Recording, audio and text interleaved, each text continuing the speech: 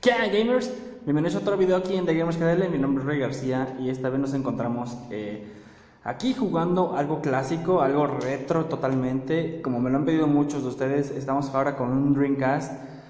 Este control a lo mejor muchos, no lo llegan a conocer. Por, obviamente, esta consola tiene más de 17 años que, pues, que salió y a lo mejor muchos no lo, no lo llegaron a jugar ni siquiera a conocer.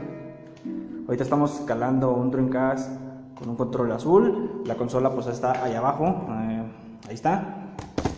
Y estoy batallando con un control, más con un juego. Así como los del PlayStation al principio siempre batallaban para poder jugarse. Ya ven la pantalla de la muerte que pasaba de Sony y luego.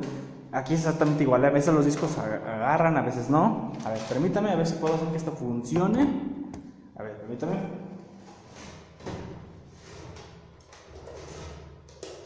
Vamos a, pues a soplar un poquito el disco a ver si funciona. Es una copia pirata, obviamente, de, Capcom contra SNK. Millennium Fight 2000. Vamos a ver si ahora sí tenemos suerte. Eh, estamos aquí en 17 de noviembre, eh, totalmente en vivo, en una telecita retro. Vamos a ver si ahora sí nos deja. Híjole, Pinche disco no sirve. este, eso es común ¿eh? en los juegos de Dreamcast. Eh, a veces funcionaban, a veces no. Y lamentablemente no me está dejando en este momento. A ver, voy a ver cuál otro traje para jugar con ustedes. A ver, cuál más, cuál más. A ver, dejen ver si este otro sirve. Este todavía es, este todavía es más pirata, porque este lo grabé yo. Permítanme. Ah, no, al parecer este ya, ya está funcionando. Ese sonidito era clásico en esa época, realmente. Eh, era como el, sonido del PlayStation, pero acá en envolvente. Es realmente, pues, nostálgico escucharlo. Este, a ver, comentarios. Juan García, ya llovió. Ok. Y, y Brian Torantes. Hola Roy, ¿qué onda, men? Eh, bueno, como les decía, hay que esperar a que la pantalla de Dreamcast termine porque si no, no empezamos a jugar. Y creo que... Ahí está. Ya cuando sale esa, pantalla ya es que ya podemos jugar ya, ya en el Dreamcast, el juego que sea. A ver. Vamos a jugar un poquito. Eh, aquí estoy totalmente solo, en una televisión. Eh, de hecho, esta, esta tele me la, encontré hace poquito en el baratillo, como en, en 150 pesos. Es una tele pequeña, obviamente, pero para lo retro, para lo que ahorita yo lo, estoy necesitando, está genialísimo. Yeah. A ver, comentarios. Alguien comentó algo. Alex Freire. No sé si se pronuncia. ¿Estás en tu casa? Así es, amigo. Capcom. Hola, dice Roberto Padrón Zamarripa. ¿Qué onda, men? Saludos. Le voy a bajar un poquito la tele porque creo que está un poquito alto. Eh, les voy a contar un poquito acerca de mi experiencia con, con la consola Dreamcast. A ver, le voy a bajar un poquito más porque creo que está muy alto todavía. Este. Eh, dice Brian Dorantes, tú que todo lo sabes, ¿qué me conviene? ¿360 o PlayStation 3? Ayuda, porfa. Ay, güey. Pues, ¿qué te puedo decir, amigo? Yo en lo personal prefiero más los juegos de, Microsoft, de 360. Incluso muchos de los juegos se ven mejor en 360 que en PlayStation 3, sobre todo los que son multiconsolas. Este, eh, hay mucha variedad, hay grandes juegos. En ambas consolas hay muchísimos juegos. Eh, grandes eh, exclusivas en cada uno, pero bueno, yo lo, particular, por, por ejemplo, por Halo, yo me voy entonces por, por, este, por 360. A ver, vamos escogiendo personajes. Iori y pues, Ryu, Ingesu. ¿Qué onda? Saludos, dice eh, Diego Martínez. Saludos, amigos, desde Zitácuaro, Michoacán. Saludos, cómo no. les mencionaba, vamos a hablar un poquito acerca de mi experiencia con, con Dreamcast. En esta ocasión, bueno, yo conocí esa consola cuando yo iba, no sé, en una de esas experiencias gamer en San Juan de Dios, aquí en Guadalajara, donde ahí se consigue toda la piratería en aquellos años. Y yo llegué a ver este videojuego, este en particular. Este, a mí me gustaba porque dije, ah, caray, los juegos como, ¿cuál King of Fighters es este? Así como el clásico, ¿qué tipo de King of Fighters es este? Eh, yo me acuerdo que dije, ah, caray, los gráficos son nuevos, la animación es increíblemente fluida. Este, y luego lo llegué a ver en maquinitas y dije, pues, ¿qué onda? ¿Qué, juego es este? Y hasta que descubrí que era una nueva consola, una consola que se llamaba Dreamcast de Sega. Y bueno, pues para, para la época pues era lo genial porque tenía unas gráficas bien chingonas. Y obviamente el precio no era no era nada accesible para ese entonces, pero bueno, específicamente yo por este videojuego, por Capcom contra SNK, fue que yo compré un Dreamcast en esa época. De hecho, me acuerdo que yo lo llegué a comprar, lo iba a comprar yo en el baratillo. Una persona me dijo, ah, no tengo ahorita disponible, pero te voy y te traigo de mi, de mi establecimiento, ¿da? El güey fue y te tardó como dos horas y nunca me trajo nada. Entonces dije, no, ¿sabes qué? No, gracias, este ese mismo día llegué y fui a San Juan de Dios a ver los precios, obviamente eran más elevados, pero ahí sí tenían existencia y ahí lo compré. Lo compré con este juego en específico. De hecho, siempre se me ha hecho curioso el control de Dreamcast, o sea, es un control sototote. Le faltan obviamente botones a diferencia del, control del, PlayStation, por ejemplo. Pero es un control bastante cómodo, aunque sí hay un detalle importante de, de marcar de este, de este tipo de control. El stick para mí en lo personal está muy mal ubicado. Sergio Lombana dice, ese es de Kino Fighters. No, yo también pensaba eso, dije, pues ¿cuál Kino Fighters es? Pero no, es Capcom contra SNK. A ver. Salúdenme a Donkey Kong. este. Mándenme preguntas, mándenme. Yo sé que hago este tipo de videos muy esporádicamente y sin avisar, es lo malo, pero bueno, espero que me, estén, me pregunten cosas si es que quieren. Comenten acerca de su, experiencia con, la consola Sega Dreamcast. Ahorita vamos a hablar acerca de, estas pequeñas cositas que son los, las tarjetas de memoria del Dreamcast, que son como un pequeño Game Boycito. A ver. Yo en lo personal nunca fui fan de los juegos de Street Fighter, o sea, sí los llegué a jugar mucho en maquinitas, el Street Fighter 2 y sus tutti frutti de, de versiones, los Alpha, los Zero, pero nunca me llegó a llamar tanto la atención como los de King of Fighter. Eh, que este juego mezcle ambos universos, el Capcom y el SNK, se me hizo muy interesante. Digo, es algo que ya se ha hecho anteriormente, por ejemplo con los Marvel contra Capcom, pero este en específico me gustó mucho por los personajes de SNK.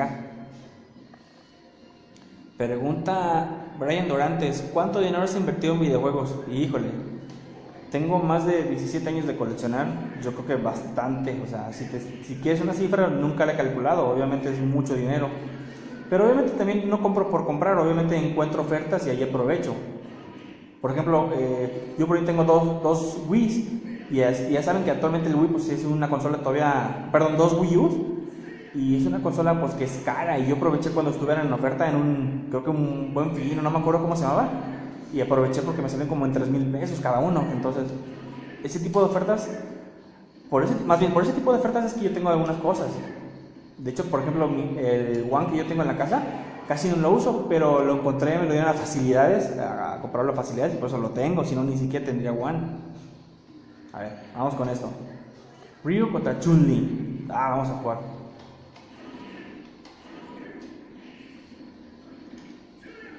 A ver, comentarios. Ya no hay comentarios, ok, perfecto.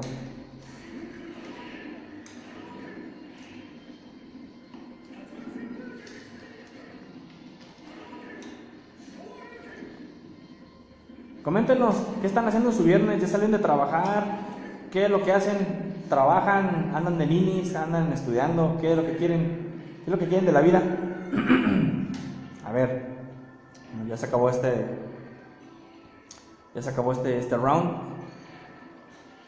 Lo que se me hacía curioso del Dreamcast, los controles es que, bueno, la parte que les dije que son grandotes, tienen esta peculiaridad. Los controles pues, normalmente traen la, el, el cable en la parte de arriba, este los traía abajo y se me hacía un poquito incómodo tenerlo aquí, pues estorbando, ¿no? Por eso tenía esta pequeña abertura para poner el cable, pero siempre se soltaba.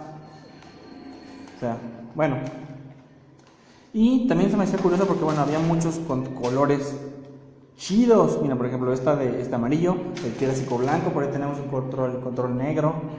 Ahí está, miren, está aquí. Oh.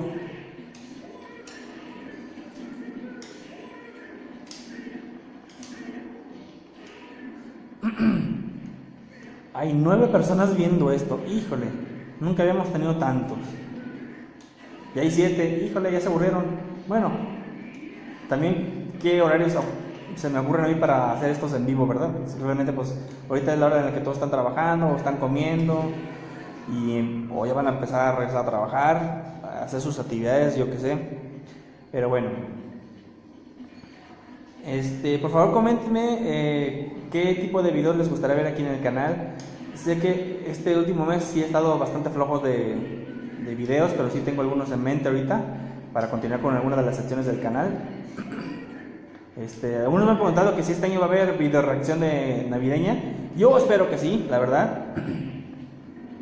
Y, a ver, permíteme. Brian Dorantes, ¿dónde dejaste a Cloud? Pues es que ella sí trabaja.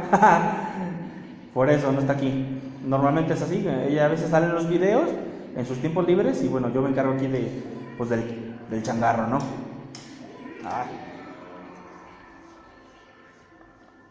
A ver, ¿qué le estaba comentando? Ah, sí, exactamente del canal. Este, ¿Qué video les gustaría ver próximamente? Eh, voy a estar haciendo algunos eh, unboxing eh, express para el canal, o sea, videos cortitos que les guste a las personas. No exactamente de, consolas ahorita, sino este, accesorios, juegos. Incluso por ahí, saludos a Diego Reynoso, que hace poquito este, me regaló, hizo una aportación aquí a, su servidor eh, de un volante, eh, ni siquiera me acuerdo de la marca, pero es, de es para PC, para Microsoft. Y realmente me lo regaló totalmente nuevo porque él no le, no le dio utilidad. Entonces dijo, oye, ¿lo quieres? Ah, pues adelante, Este, voy a tratar de hacerle un, un video unboxing o review o gameplay un poquito, unos días después. Eh, saludos, visiten su página de Alquimia, ya saben. Este, producción musical, eh, arreglos musicales, bueno, ahí visite su página, él es el experto en eso. Yo nada más hago la mención, la verdad son chavos este, con talento, profesionales, y bueno, visite su página, por favor. Pese a que yo soy una, una, persona que se considera este, bueno en algunos de King of Fighters, este, la, no sé, yo siento que la movilidad en este, en este juego para los personajes de SNK no es la misma. Creo que es una movilidad tipo Street Fighter. Es lo que nunca me gustó de, este juego. O sea, único pero que le podría poner es el juego es muy divertido. De hecho, a mí me gustaría que hubiera un Capcom contra SNK 3. Yo, ojalá que algún, algunos años lo pongan. Lo saquen así como hubo Marvel contra Capcom 3, pues estaría genialísimo un, un Capcom contra SNK 3. ¿Ustedes qué piensan? Y pinche Sakura. A ver.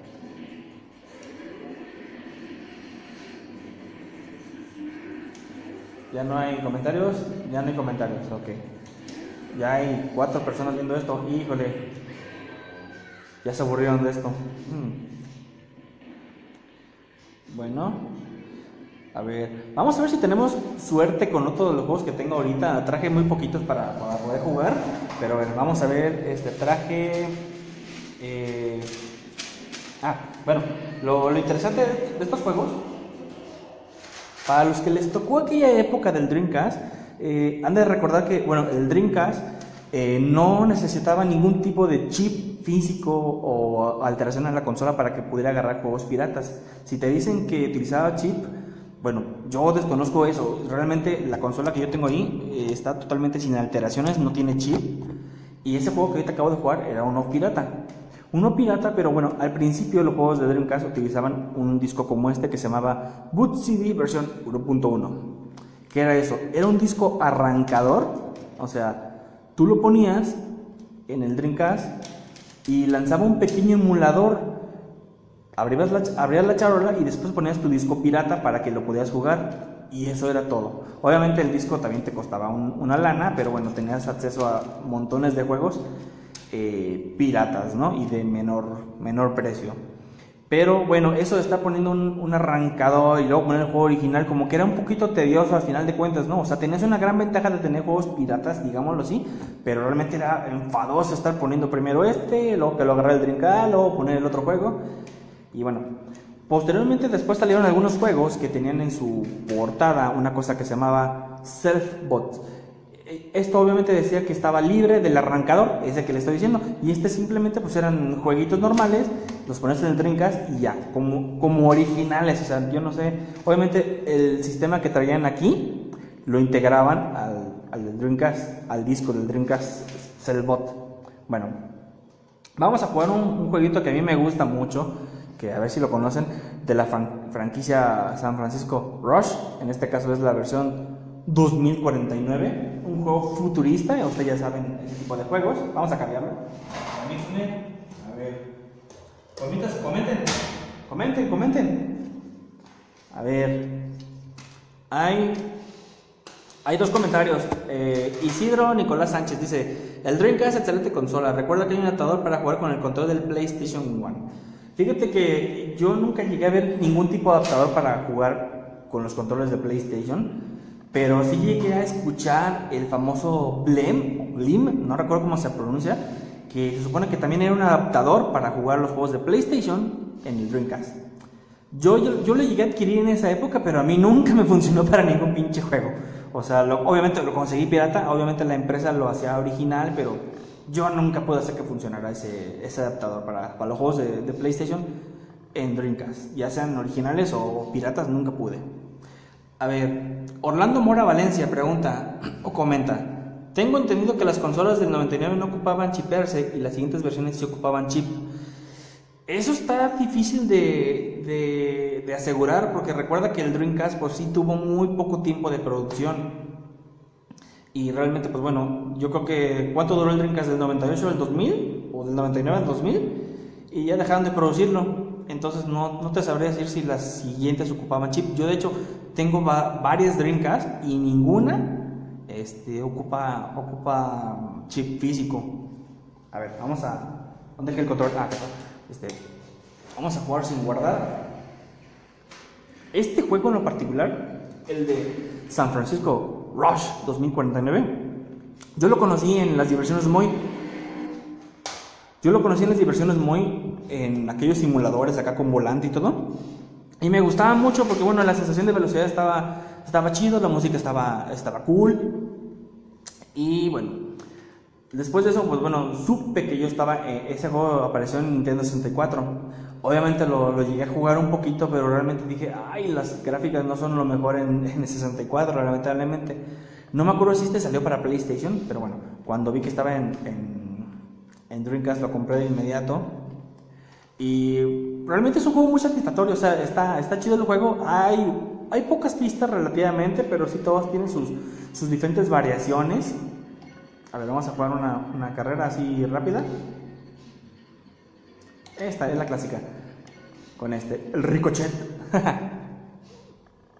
Antonio Treviño, ¿qué hay, Roy? Saludos desde Monterrey. Saludos, amigo. Este, y este juego en lo particular a mí me trae muchos recuerdos porque bueno, era cuando el, Dreamcast estaba en su apogeo, allá por obviamente por el 99-2000, y este juego a mí me gustó mucho porque en esas épocas yo lo jugaba mucho con mi papá y le jugábamos de dos jugadores y, ya estábamos viendo a ver quién ganaba, quién, quién le ganaba a los, a los demás competidores, quién encontraba los atajos, era un juego que me trae muchos recuerdos por eso, porque es un juego divertido, es un juego que, que eh, pues disfruté en compañía de mi familia híjole. y bueno, es un juego muy sencillo, gráficamente pues bueno, pues ya lo están viendo, es un juego pues, bastante viejito, para esa época pues estaba muy, muy avanzado, pero pues actualmente pues ya hay juegos que superen esto fácilmente. A ver, eh, Juan Manuel Masquiarán pregunta o comenta, Ay, ya estoy chocando por, por comentar. dice, algún lugar donde venden los juegos originales pero a buen precio están algo elevados los juegos de Dreamcast y Saturn. Este, los juegos de Dreamcast aquí originales, por lo menos en México, sí son un poquito escasos y son obviamente caros por lo mismo. Te puedo decir que yo tengo muchos, jugué muchísimos juegos piratas en Dreamcast, pero originales realmente tengo muy poquitos Creo que nomás tengo el Sonic Adventure y Shenmue y ya. O sea, juegos originales de Dreamcast sí los hay, pero son muy caros y escasos. Y normalmente son juegos así como de NBA 2K o no me acuerdo cómo se llamaban. O sea, son, son, son escasos. Te puedo decir que los puedes conseguir fácilmente en Mercado Libre, pero a precios todavía más caros.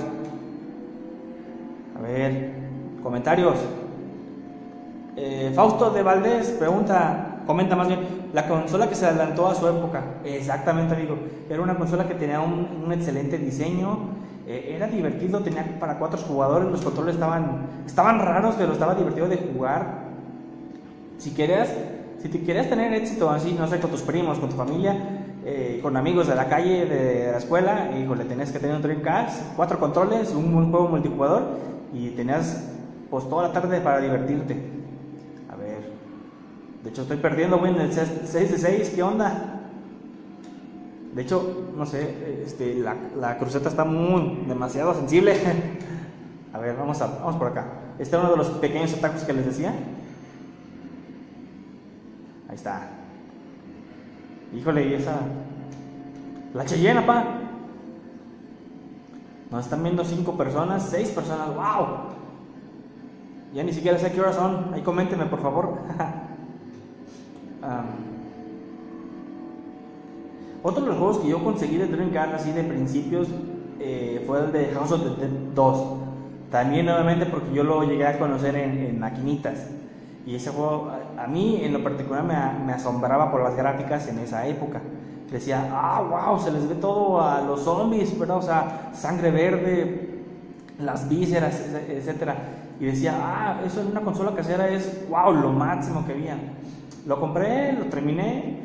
Mmm, me pareció un poquito corto, pero obviamente el, la, el, gameplay mejora muchísimo si lo juegas con otra persona, definitivamente. Quinto puesto, híjole. Ah, ni modo. Continuar. Nuevo circuito, a ver. Vamos a continuar con. Vamos a ver cuál. Este, este. Mmm. Pues ahorita no tengo mucha variedad. Este menú. A ver, vamos utilizando otro carrito. A ver, pues tampoco tengo gran variedad, ¿verdad? Pero vamos a buscarle. Vamos a cambiarle esto. El motor. Pesado, ligero, estándar. Alas grande, pintura. Se ve chistoso. Este mero, el Magnum. Abel Oa comenta. Este, Hola Roy, esa consola me recuerda a mi primer juegazo en ella, Crazy Taxi 2. El, el carro nos saltaba demasiado, uno de los mejores. Eh, fíjate que el Abel, ese juego de Crazy Taxi 2, eh, en lo particular a mí no me gustó mucho, no por el juego, fíjate, sino porque yo lo jugué en Dreamcast pirata y ese disco siempre me, me dio batalla para poder jugarlo. Era de los juegos que, que no arrancaban a la primera. Pero de ahí en más el juego también está divertido. El soundtrack me gustó más el del primero. Acá sí estaba muy, muy padre la música, pero se me hacía mejor el primer juego. Esa opción que tú dices que como que saltaban, sí le daba como una... una hacía el gameplay totalmente diferente y era algo interesante también de jugar. A ver, por ahí me comentaron algo de la Raspberry. Este, no, realmente nunca he tenido ninguna, siempre he querido comprar una, de hecho, eh, para la Barto, yo pensaba comprar una, una Raspberry, ¿no? Pensando en que iba a ahorrarme algo utilizando una compu normal, pero creo que no, creo que fue una mala idea. Pero bueno, Raspberry, pues realmente yo no conozco nada del tema. A ver si luego consigo una para poder jugar y hacerme un, un SNES Mini este, más económico. A ver, por ahí me comentan algo. Isidro Nicolás Sánchez pregunta o comenta. Se decía que el chip era para las consolas con un 2 en la etiqueta de abajo. Yo tenía una y no ocupa ninguna modificación. De hecho, sí había un chip para volverla libre de región para los juegos japoneses. Oye, fíjate, ese comentario está, está interesante, ¿no? Habría que checarlo. Voy a revisarlo con las otras consolas a ver si es cierto en la etiqueta. Como las etiquetas de la leche o aquí de México, ¿no? Que dicen que, que si tienen como, quién sabe cuál numeración, son etiquetas, son productos ya perecederos o algo así. A ver, o 100% mexicanos, algo así me comentado. A ver. ¿Dónde se cambia? Ah, este no. Vamos a cambiar la perspectiva ah, aquí en primera persona para sentirte que vas adentro del vehículo. Dice, ¿verdad? Ahí está. Parece que traigo un tanque. No, ya nomás hay tres personas viendo esto.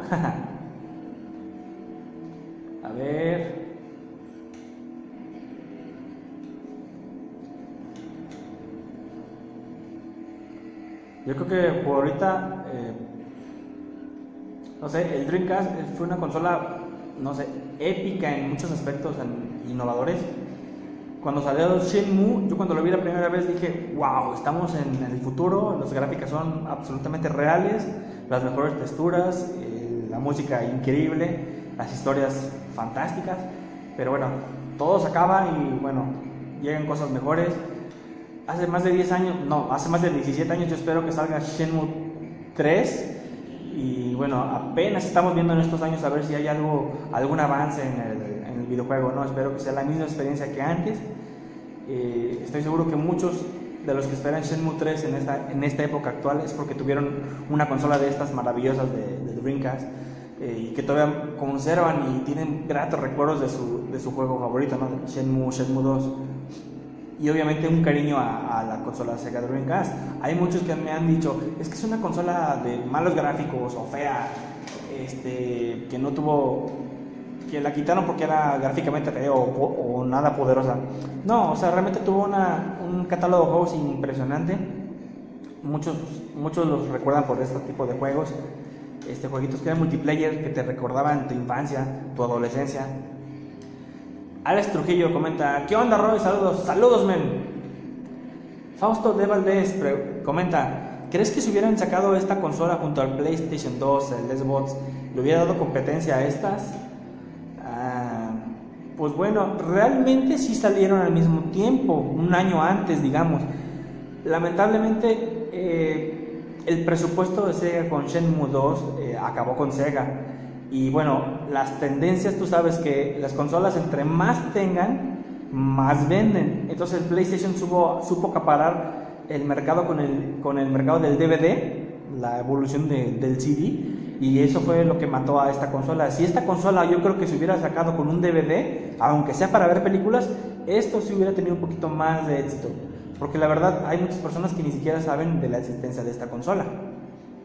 Incluso, por ejemplo, eh, me atrevo a decir, hay muchos que les gusta, por ejemplo, la, saga de, Souls Calibur, por ejemplo, y muchos comenzaron a jugarla con Souls Calibur 2 o 3, porque salieron en consolas más populares como las que tú mencionas. Pero obviamente no sabían de dónde salió el primer juego, como el de Souls Calibur, que salió precisamente, de hecho aquí lo tengo, el Souls Calibur para, para el Dreamcast.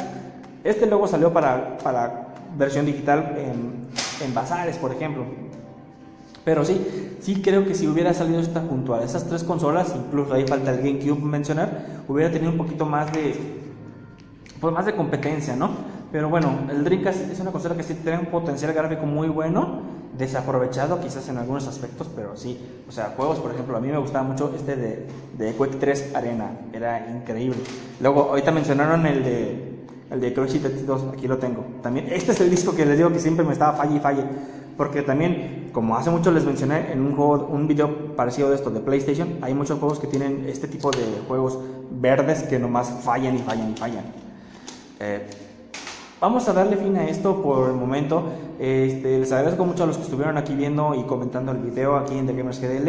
Este video, pues bueno, es eh, específicamente para eh, la página en Facebook. A ver si al rato o mañana esto lo resubo YouTube. Por favor, suscríbanse, eh, denle like, visítenos. Y bueno, muchísimas gracias a todos. Saludos. Yeah.